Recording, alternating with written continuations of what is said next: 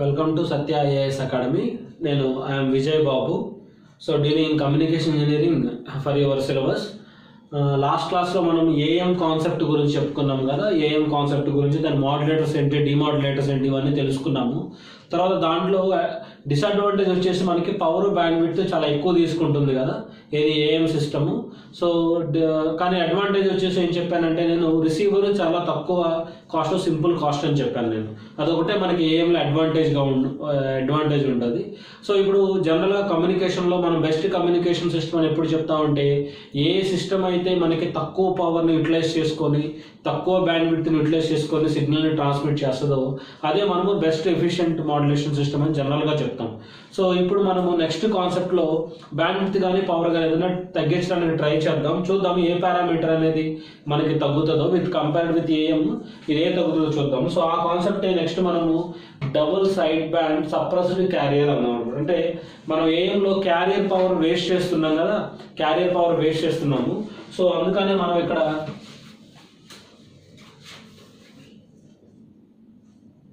ఆ carrier power ని suppress చేయడానికి ట్రై చేద్దాం అనమాట so that's why this is technique I'm calling it as double side band suppressed carrier double side band suppressed carrier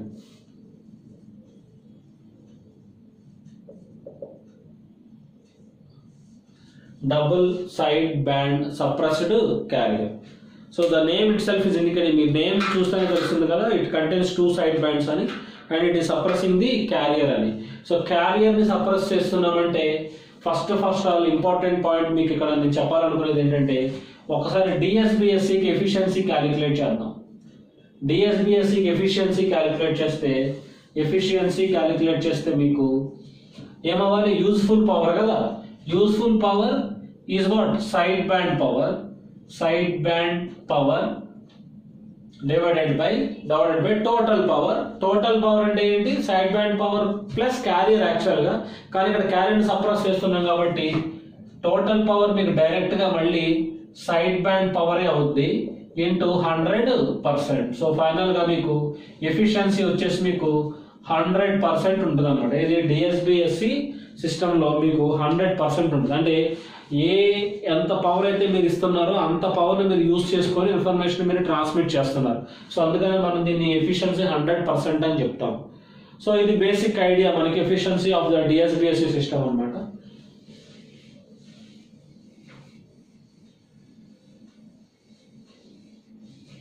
so డిఎస్బిఎస్సిలో once again నేను మళ్ళీ AM AM equation తీసుకొని మీకు ఎక్స్ప్లెయిన్ చేస్తాను ఇక్కడ AM equation S of T AM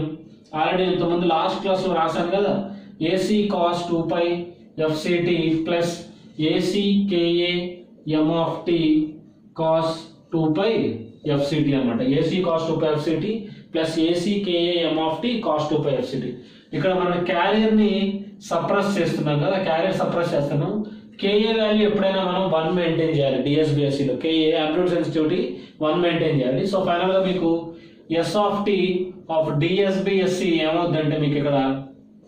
AC M of T cos two pi FCT దీన్ని డైరెక్ట్గా ఏమని రాయొచ్చు AC cos two pi FCT C of C of T రాయొచ్చు కదా so M of T into C of T M of T into C of T so మీరు DSBSC signal మీరు generate చేయాలి అంటే సింపుల్గా మీరు ఏం చేయాలంటే మెసేజ్ సిగ్నల్ని క్యారియర్ సిగ్నల్ని మల్టిప్లై చేయాలి సో మెసేజ్ సిగ్నల్ని క్యారియర్ సిగ్నల్ మల్టిప్లై చేస్తే మీరు డైరెక్ట్గా జనరేట్ అయ్యే సిగ్నలే మీకు డిఎస్బిఎస్సి సిగ్నల్ అనమాట డిఎస్బి డిఎస్బిఎస్సి సిగ్నల్ సో ఇక్కడ ఒకసారి చూద్దాము సిగ్నల్ టైం డొమైన్ ఎక్స్ప్రెషన్ ఒకసారి చూద్దాము వేవ్ ఫామ్ ఎలా ఉంటుంది అనేది ఒకసారి చూద్దాం సో మీరు ఫస్ట్ ఒక ఎంఆఫ్టీ సిగ్నల్ తీసుకోండి ఎంఆఫ్టీ ఈజ్ అ మెసేజ్ సిగ్నల్ తీసుకోండి so this is what this is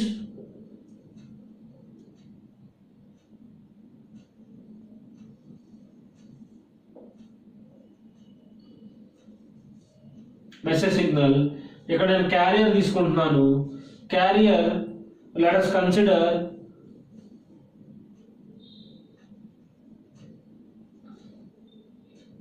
it is covering four cycles or three cycles it is covering three cycles like this similarly three cycles here three cycles and so on. So ఇది zero AC minus AC carrier draw చేశాను నేను ఇక్కడ high frequency carrier ఇది low frequency message signal minus AM AM zero minus AM ఇక్కడ ఫైనల్గా నేను డిఎస్బిఎస్సీని draw చేస్తున్నాను so మీకు ఇక్కడ ఇది పాజిటివ్ పీక్ కదా సో ఇది పాజిటివ్ పీక్ కాబట్టి మీకు ఇక్కడ ఏమొస్తుంది ఇక్కడ ఇది పాజిటివ్ కదా positive into positive you'll get a positive value next ఇది negative negative into positive you get negative value so negative value then positive into positive you get once again positive value so positive into negative will be getting once again negative value so next positive into positive will be getting a positive value positive into negative positive into negative will be getting a negative value till here you'll be getting like this now this is positive cycle and here we will have a negative part so this negative and this positive will make what negative this is see here once again this is the negative value negative into positive positive into negative total you'll be getting negative so that's why once again you're getting like this so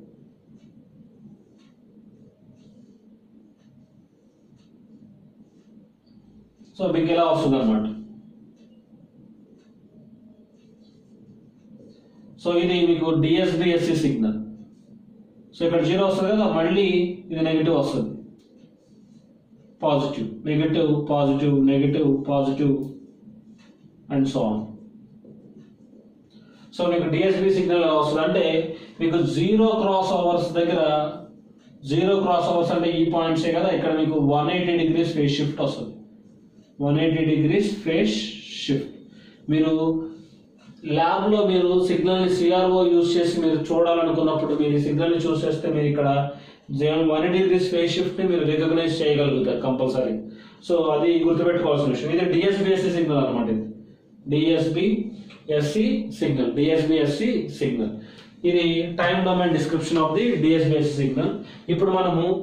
దీనికి power calculate చేద్దాము band calculate చేద్దాము ఎంత ఉంటుంది అనేది so power value ఎలా calculate చేస్తాము power of DSBSC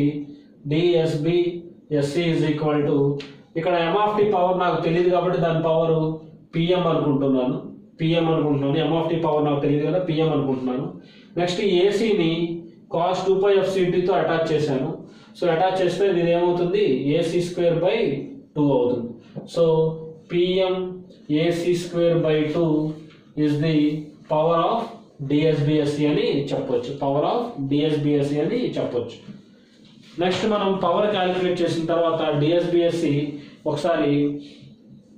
band calculate చేయడానికి try చేద్దాం బ్యాండ్ విడ్త్ క్యాలిక్యులేట్ చేయడానికి ట్రై చేద్దాం సో మనం బ్యాండ్ విడ్త్ క్యాలిక్యులేట్ చేయాలంటే ఇక్కడ టైం డొమైన్ సిగ్నల్ ఉంది కదా మనకి ఎస్ ఆఫ్ టీ డిఎస్బిఎస్సి దానికి మనం ఫోర్ ఎయిట్ ట్రాన్స్ఫార్మ్ అప్లై చేయాలి mind Fourier transform apply చేసి స్పెక్ట్రమ్ డ్రా చేయాలి స్పెక్ట్రమ్ డ్రా చేసిన తర్వాత మీకు బ్యాండ్విడ్త్ క్యాలిక్యులేట్ చేయొచ్చు సో ఇక్కడ ఎస్ ఆఫ్ టీ డిఎస్బిఎస్సి కదా దీనికి డైరెక్ట్గా ఫోర్ ఎయిట్ ట్రాన్స్ఫార్మ్ నేను అప్లై చేస్తున్నాను అప్పుడు ఎస్ ఆఫ్ ఎఫ్ డిఎస్బిఎస్సి ఏమొస్తుందో చూద్దాం is equal to AC by two M of T cos two by ఎఫ్సిటీకి ఏంటి by two into M of F minus FC plus M of F plus FC అనమాట M of F minus FC plus M of F plus FC so మీరు ఇక్కడ frequency తీసుకొని zero తీసుకోండి ఇక్కడ first term ఏం print చేస్తుంది spectrum of M of F at F equal to FC so at F equal to FC దగ్గర spectrum of M of F అనమాట next at F equal to minus FC దగ్గర minus C దగ్గర spectrum of M of F అనమాట so FC ఇది FC plus W ఇది FC minus W so ఇది minus FC minus W minus FC plus W ఇది DSBSC spectrum DSB SC spectrum అనమాట so ఇక్కడ మీకు బ్యాండ్ విత్ క్యాలిక్యులేట్ చేద్దాం bandwidth అంటే ఏంటి హై ఎఫ్హెచ్ మైనస్ ఎఫ్ఎల్ అనమాట ఎఫ్హెచ్ అంటే what is the value FC plus W minus FC minus W So here will be getting the bandwidth is 2 W. So one thing he- here you can note here ఇక్కడ bandwidth of DSBSC bandwidth of SSB same ఉంది very very important